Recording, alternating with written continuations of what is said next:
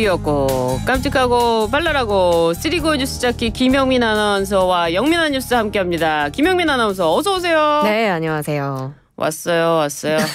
네. 가을이 왔어요. 아, 가을이 아니고 예, 초겨울? 어, 너무 춥지 않아요? 왔어요, 왔어요. 초겨울이 왔어요. 가을이 삭제된 것 같아요. 아니요, 그래도 가을 좋아요. 아, 그쵸. 가을은 네. 좋은데 생각보다 너무 추워서 다들 그러게요. 환절기 감기 조심하셔야 될 것 같더라고요. 그러니까 말입니다. 근데 지금 뭐 이제 어, 산에도 가실 수 있고. 아, 아. 너무 좋지 않습니까? 이제 또 단풍 막 들고 하면 그렇죠. 기분도 좋고 할 텐데. 등산에 가면은 딱 모여가지고요. 네. 일단 시작을 합니다. 뭘 시작하죠? 막걸리를 시작하죠. 그리고 아침부터 그리고 술 얘기네. 등산 중간에 가다가 네. 멈추죠. 아, 그리고 올라갈 사람은 올라가라. 아. 내려갈 사람은 내려가서 아, 다시 마시자. 예, 아하. 죄송합니다. 여러분 요즘에 등산 많이 하실 텐데 항상 산불 조심하시고요. 중간에 오늘 내려가시나 봐요. 그래요.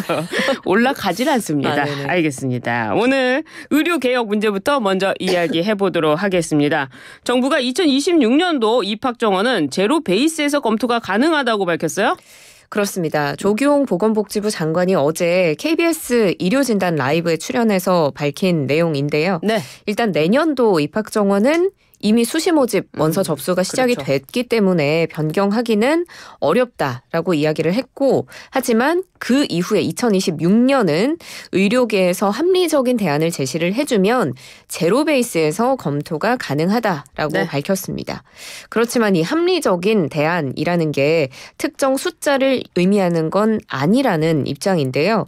어, 의료계에서 지금 정부의 증원 숫자가 뭐 비과학적이고 근거가 음. 미약하다 이렇게 이야기 를 하고 있는 만큼 네. 그럼 의료계에서 생각하는 과학적인 정원이 얼마냐 이렇게 묻는 의미라고 덧붙이기도 했습니다. 그렇습니다. 사실은 지금 2025년도도요 2,000명이 아니고 1,509명이고요. 그렇죠. 서 울에 있는 의대는 어, 증원이 안 됐습니다. 지방 의대만 증원이 됐는데요. 이 야당을 중심으로는 지금 대통령의 사과나 관계자 문책도 요구하고 있는데 조규홍 복지부 장관 어떤 입장입니까? 어, 일단 최근에 야당에서 협의체 구성의 전제 조건으로 몇 가지를 내세웠는데 네. 윤석열 대통령의 사과 혹은 관계자 문책을 요구하고 있습니다. 네. 여기에 대해서 조 장관은 의료 상황이 급박하게 돌아가는데 의료 정책을 책임지는 책임자가 공개적으로 거취를 표명하는 것은 적절하지 않다라는 입장을 밝혔는데요. 네. 대통령 대신 그럼 장관이 직접 사과할 용의가 있느냐 이런 물음을 받고 네. 국민 여러분께서 불편해 하시고 또 고통을 느끼는 것에 대해서는 당연히 사과를 드리겠지만 야당이나 그 밖에서 요구하는 것에 대해서는 특별히 말씀드리기 어렵다라고 선을 그었습니다. 예, 이런 가운데 어제 민주당 이재명 대표가요. 임현택 대한의사협회장을 만났는데요. 어떻습니까? 네, 맞습니다. 어제 이재명 대표와 임현택 의협회장이 만났습니다. 지금의 의정 갈등, 의료 차질과 관련한 의료계의 입장을 이 대표가 직접 들었는데요. 네. 간담회는 비공개로 진행이 됐고요. 약 1시간 50분가량 이어졌습니다. 면담을 하고 나서 이 대표는 이 사태에 대해서 제일 신경을 써야 하는 곳이 야당, 여당인데 네. 국민들이 오히려 가장 다급한 것 같다. 이렇게 이야기를 하면서 네. 의협 쪽에서도 문제 해결 의지가 있으니까 음. 정부가 좀 개방적으로 나왔으면 좋겠다는 입장을 밝혔습니다. 네. 어, 조승래 수석 대변인도 지금 이 상황에서 제일 급하게 열심히 움직여야 할 주체가 정부인데 정부는 제일 한가하고 국민이 상황을 제일 심각하게 여긴다는 의미다라고 음. 이재명 대표의 발언을 부연하기도 했습니다. 그래요. 누가 지금 심각하게 움직이고 있는지는 또 국민들이 판단하실 것 같고요. 이 집단 행동에 참여하지 않은 의사들 그러니까 추석 때 왜 일을 하느냐 음. 일하지 말자 이 집단 행동에 참여하지 않은 의사들의 신상 정보를 담은 의- 이른바 의료계 블랙리스트 이 의료계 블랙리스트를 만들어 게시한 어, 사직 전공의가 구속이 됐습니다. 음. 어떻습니까, 많은? 어, 일단은 의료계에서는 피해를 본 의사들은 물론이고요. 네. 구속된 이 전공의 또 두둔하는 음. 그런 목소리가 나옵니다. 일단 임현택 의협 회장이 이 사직 전공의가 구속된 다음 날 면회를 갔습니다. 네. 그리고 철창 안에 있는 전공의 또 리스트에 올라서 피해를 당한 전공의 그 누구도 돕겠다는 것이 협회의 입장이라고 음. 밝히면서 이 구속된 전공의와 리스트에 올라서 피해를 입은 분들 모두가 정부가 만든 피해자다라고 입장을 밝혔습니다. 네. 정부가 의사들 사이를 다 결딴내고 있다 이런 이야기도 했는데요. 네. 다른 의사 단체들도 지금 전공의가 인권 유린을 당했다면서 뭐 집회를 열거나 성명을 내거나 다양한 입장을 내고 있습니다. 네. 그런데 지금 이 구속된 전공의를 두둔하지 않는 목소리도 의료계 내부에서 나오고는 있는데요. 그래요? 강희경 서울대 의과대학 서울대병원 교수 비대위원장이 밝힌 내용입니다. 이 의사 블랙리스트를 만들고 배포하시는 분들은 음. 스스로 얼마나 부끄러운 일을 하고 있는지 깊이 생각해보라 이렇게 일침을 가하기도 했습니다. 그래요. 의료 개혁 참 개혁의 길은 멀고도 험하다라는 생각이 드는데 어, 빨리 좀 갈등이 해결됐으면 좋겠다 이런 생각이 듭니다. 내일은요 또 윤석열 대통령과 당 지도부의 만찬이 예정되어 있습니다. 여당인데 여당 지도부 만찬 예정이 이렇게 뉴스가 되는 것까지 참 이해할 수가 없는데요. 순방 내용부터 야당 단독 처리된 법안들까지 논의할 현안이 산적해 있을 것 같은데 어떻습니까? 맞습니다. 이 만찬이 아마 한 차례 미뤄지면서 더 큰 뉴스가 된 것 같아요. 그러게요. 윤 대통령이 또 어제 해외 순방 마치고 귀국을 했는데 네. 그 내려서 한동훈 대표와는 어. 별다른 이야기를 하지 않고 그냥 악수만 해서 또 그게 또 뉴스가 되기도 했습니다. 만찬에서 얘기하겠죠. 네.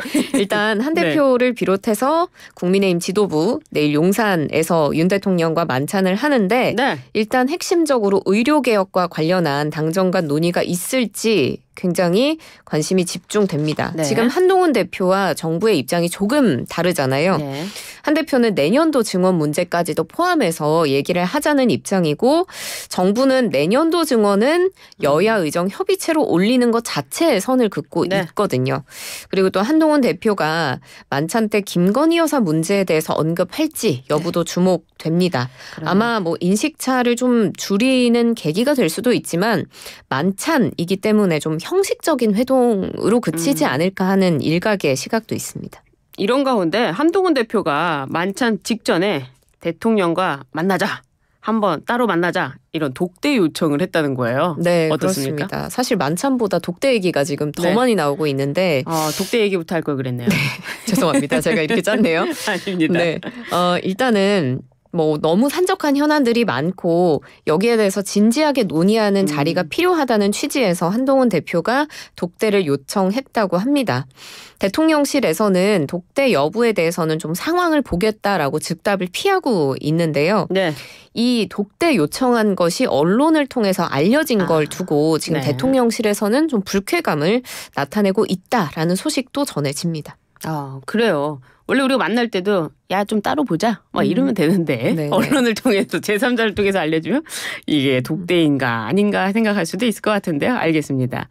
이번에는요 통일을 하지 말자. 두 국가로 살자. 임족성 적 비서실장이 이른바 두 국가 수용론을 이야기했습니다. 음. 이어서 파장이 이어지고 있는데 민주당의 김민석 최고위원이 이 주장을 우회적으로 비판했어요. 네, 맞습니다. 어제 자신의 소셜 미디어에서 북한의 적대적 두 국가로는 비판돼야 한다라는 입장을 밝히면서 김대중 전 대통령이라면 어, 김, 김정은 북한 국무위원장을 설득할지언정 동조하지는 않았을 것이다. 이렇게 우회적으로 비판을 했습니다. 네. 어, 그렇지만 또 김 최고위원이 연합뉴스와의 통화에서 한 내용을 보면 이 글이 임 전 실장을 비판하려고 쓴 글은 아니다. 또 이렇게 음. 설명을 했는데요. 네. 지금은 이 발언으로 논쟁을 벌이기보다는 북한의 적대적 두 국가 론을 명확하게 비판해야 할 시점이다라고 덧붙였습니다.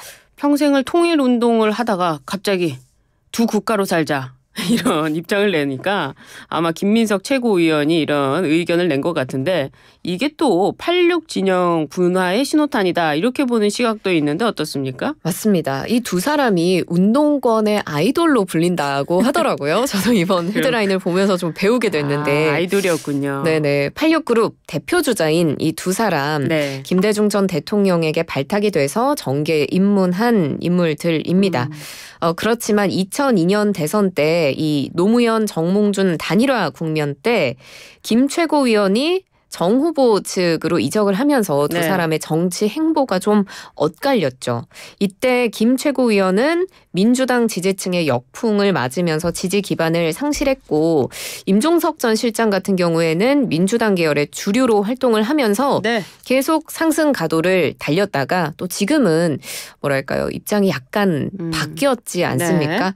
어, 임전 실장은 지금 어, 총선에 나오지 못해서 어, 원외에 머무르고 있고 김민석 최고위원은 또 수석 최고위원으로서의 가도를 달리고 있기도 합니다. 음. 그래서 이 두 사람의 논쟁 때문에 86그룹 분화가 촉발되는 것 아니냐, 이 내부의 노선 투쟁, 지연 재편으로 이어지는 것 아니냐 네. 이런 목소리들이 나옵니다. 그래요. 그런데 여당 쪽에서는 임종석 전 실장 주장에 대한 비판 목소리가 상당할 것 같은데 어떻습니까? 네, 맞습니다.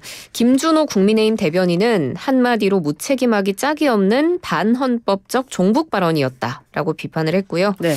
안철수 의원도 통일을 포기하자는 건 민족의 역사와 국가의 미래를 포기하자는 것이다. 예. 이건 헌법과 국민에 대한 배신이 아닐 수 없다라고 비판을 했고요. 오세훈 시장 종북인 줄 알았더니 충북이다 이렇게 또 비난하기도 했습니다. 태영호 민주평통 사무처장은 고향에 돌아갈 희망의 끈을 놓지 않은 탈북민 이산 가족 에게 죄를 뿌린 거다라고 음, 비판했습니다. 그래요. 정부가 최근 연금 개혁안을 발표했는데요. 이대로라면 특전 연령이 돈을 더 부담하게 될 수도 있다고 하는데요. 돈을 더 내고 덜 받고 이거 받아들일 수 있을까요? 아 이거 좀 어렵더라고요.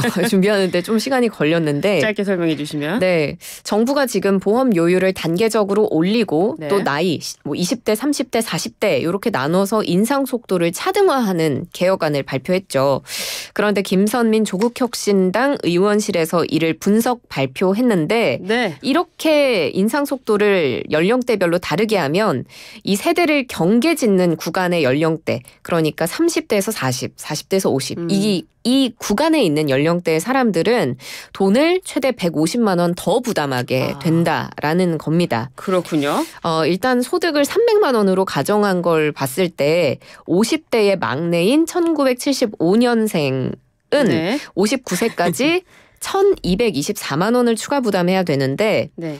또 40대로 되는 한 살 차이 1976년생은 반대로 1,080만 원만 내면 되거든요. 아, 그러니까 한 살 차이로 이 40대냐 50대냐가 갈리는 아, 구간에서 그러네요. 금액 차이가 상당하게 발생을 합니다. 아. 마찬가지로 뭐 40대와 30대 구간 에서도 뭐 이런 음. 일이 똑같이 발생하게 되고요. 예. 어, 어, 그래서- 40대 막내 85년생, 30대 네. 막내 95년생. 네, 맞습니다. 큰일 났네요. 네 네. 어, 그런 문제가 네. 좀 있어서 지금 김선민 의원은 국회 논의 과정에서 이런 미비점이 개선이 돼야 음. 네. 된다라는 입장을 밝혔습니다. 그러네요. 이 연령별로 좀 보니까 막내 라인에 딱 걸리는 분들한테는 굉장한 차별이 있을 것 같은데 음. 이거는 분명히 좀 고쳐져야 되지 않을까 생각이 드는데 아 정말 연금 문제는 너무 복잡한 거라서 그렇죠. 어떻게 될지는 좀 지켜보도록 하고요. 이게 확정된 것은 아니라는 점을 음. 미리 말씀을 드립니다. 알겠습니다. 오늘 영민한 뉴스 여기까지 하도록 하겠습니다. 감사합니다. 고맙습니다.